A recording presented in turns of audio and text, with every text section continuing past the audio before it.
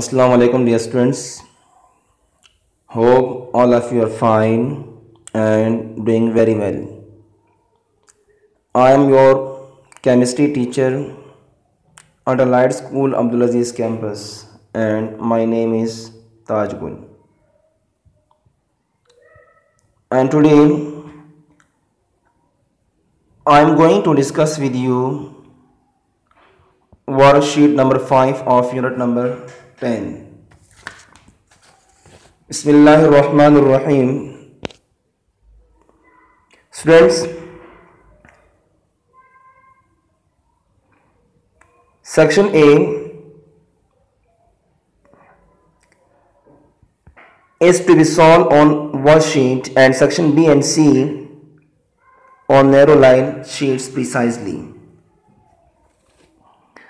But today I am only discussing with you section B and section C of worksheet number 5. The first question of section B is differentiate between Lewis and Bronsted-Lowry concept of acids and bases. So Bronsted-Lowry और Lewis acid के दरमियान जो difference है, वो अपनी जो है वो एक्सप्लेन कर स्टूडेंट्स ब्रॉस्टेड और लोरी दोनों जो है वो डिफरेंट केमिस्ट थे, लेकिन दोनों का जो कॉन्सेप्ट है, वो सेम था, जबकि लेविस जो है वो सेपरेट जो है वो केमिस्ट है। तो according to Bronsted Lowry concept acid is a substance or species which donates a proton. यानी ब्रॉन्स्टलोरी के मुताबिक एसिड जो है वो ऐसा सब्सटेंस है जो प्रोटॉन देगा। और बेस जो है, ऐसा सब्सटेंस है जो कि प्रोटॉन एक्सेप्ट करेगा।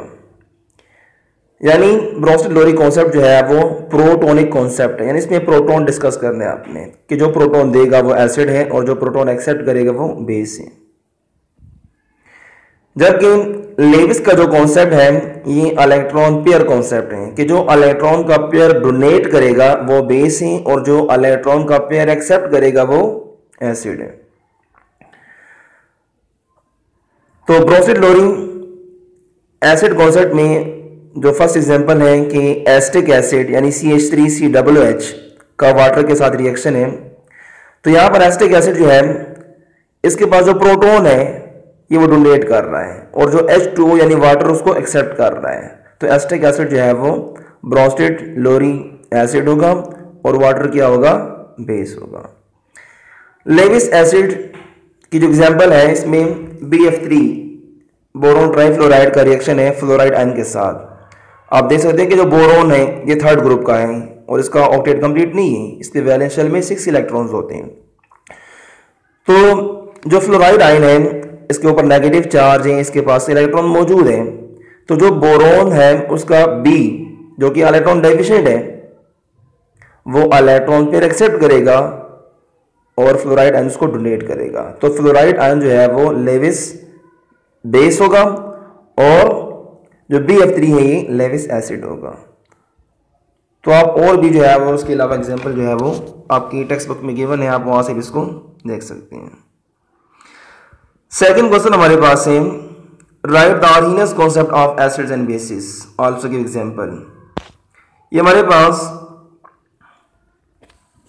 जो कॉन्सेप्ट है Arrhenius concept of acids and bases according to Arrhenius acid is a substance और species that ionizes in water to produce H positive ion. इनके मुताबिक एसिड जो है वो ऐसा सब्सटेंस है, या ऐसी कोई चीज़ है, जो कि पानी के अंदर यानी एक्वस मीडियम के अंदर एच आयन प्रोड्यूस करे और बेस ऐसा सब्सटेंस है, जो पानी के अंदर हल होकर आयोनाइज होकर हाइड्रोक्साइड आयन यानी O H negative ion produce करे तो आप देख सकते हैं फ़र्स्ट एग्जांपल में एच सी एल जो है वो वाटर के अंदर जब आयोनाइज होता है तो ये प्रोड्यूस करता है एच पॉजिटिव आयन तो हम कह सकते हैं कि एच सी एल क्या है? एसिड है. और बेस की एग्जांपल में अगर हम देखते हैं सोडियम हाइड्रोक्साइड और potassium hydroxide both are bases because when ionize in water it produce hydroxide ion यानी सोडियम हाइड्रोक्साइड और पोटाशियम हाइड्रोक्साइड दोनों बेसिस हैं और स्ट्रॉन्ग बेसिस हैं. क्योंकि जब ये पानी के अंदर डिजॉल्व होते हैं तो ये हाइड्रोक्साइड आयन जो है वो प्रोड्यूस करते हैं. उसके बाद हमारे पास जो नेक्स्ट क्वेश्चन है सेक्शन बी का, वो है write some characteristic properties of acids and bases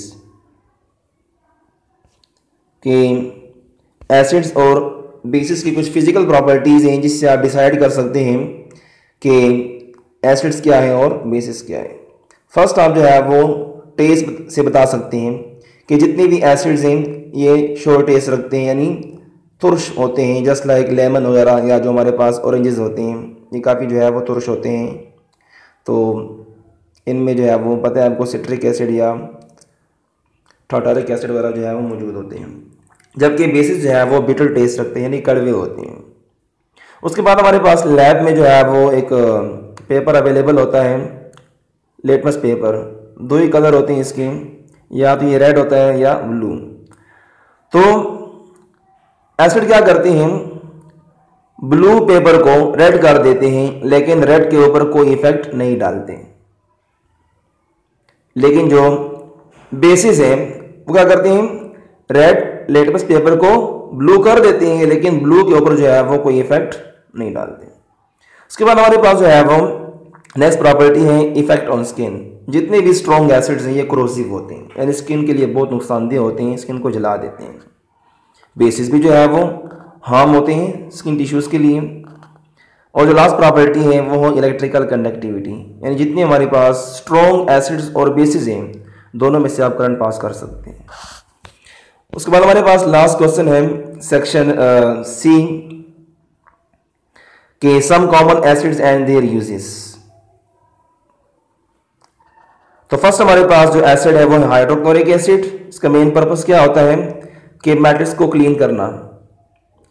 Bricks and removing skin from boiler बाज दफ़ा बॉयलर के अंदर जो है वो काफ़ी स्कील जमा हो जाती है। उसको रिमूव करने के लिए आप एच यूज़ कर सकते हैं। उसके बाद नाइट्रिक एसिड को आप एज आ फर्टिलाइज़र यूज़ कर सकते हैं। As a explosive material use कर सकते हैं। सल्फ्यूरिक एसिड बहुत इंपॉर्टेंट केमिकल है। इसको आप यूज़ कर सकते हैं। बहुत सारे केमिकल्स बनाने में।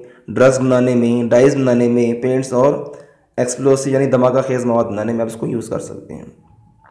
इसके अलावा फास्फोरिक एसिड है, इसको भी आप एज आ फर्टिलाइज़र जो है वो यूज़ कर सकते हैं।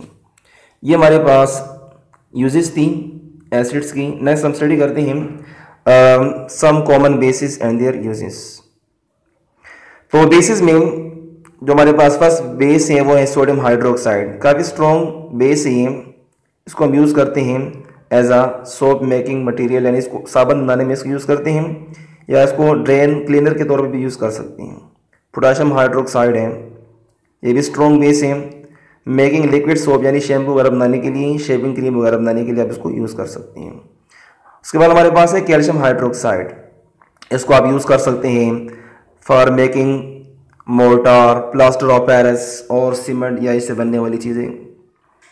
लास्ट हमारे पास है मैग्नीशियम हाइड्रोक्साइड इसको हम यूज़ करते हैं एज अ एंटी एसिड यानी स्टमक के अंदर जो एसिडिटी होती है, उसको न्यूट्रलाइज करने के लिए आपको यूज़ कर सकते हैं। Thanks for listening and watching students so that's all for today take care of yourself best of luck and अल्लाह हाफिज़